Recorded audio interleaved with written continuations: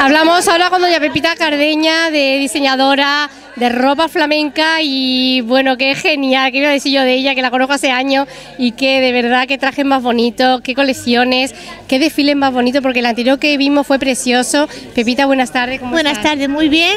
Yo lo hago para Expandem para ayudar un poquito y después también el, el día 13 de julio lo tenemos en la, en la, en la carpa de San Pedro para lo de lucha contra el cáncer.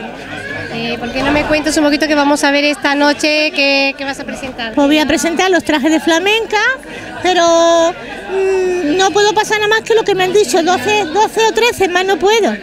Y también mm, la ilusión de que este hace 36 pases, así que fíjate, ya también. Que estás trabajando mucho, la Feria de Marbella empieza el día 9 y trabajando para tus clientas fijas que tienes. Marbella, para la feria de Estepona, que el día en julio, hemos estado para el Rocío, para la feria de Sevilla, anda que no, y no vio feria.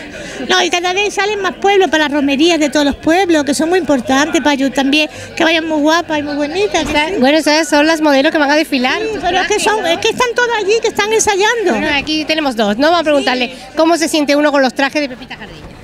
Elegantísima, finísima y un- una flamencura increíble, inc- precioso todo. ¿Alguno de los flamencos le entra el flamenco ya? Sí, sí, es como que- ya estar tu dirección de flamenco. eres- Que yo no tengo arte flamenco, pero con ella me trato. Me trato. Eso, eso, eso, eso sí que es una modelo, ¿verdad?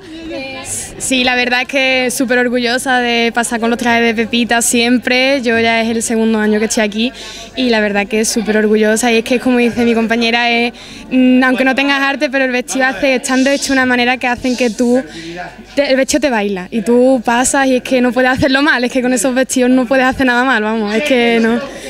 Estas niñas, ¿eh? Pero además que están todas ensayando ahí, de, ahí la, la eso, por eso no están las demás, porque son muchas. Pero bueno, ¿qué vamos a hacer? Bueno, no, con las dos es suficiente.